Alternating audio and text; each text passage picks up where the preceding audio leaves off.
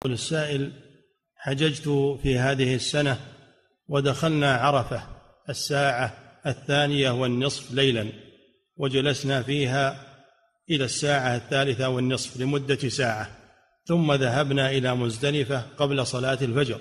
هل حجنا صحيح؟ إن شاء الله. حصل المطلوب. إذا لو مررت بعرفة لو مررت بعرفة وقت الوقوف مجرد مرور وأنت محرم يكفي هذا.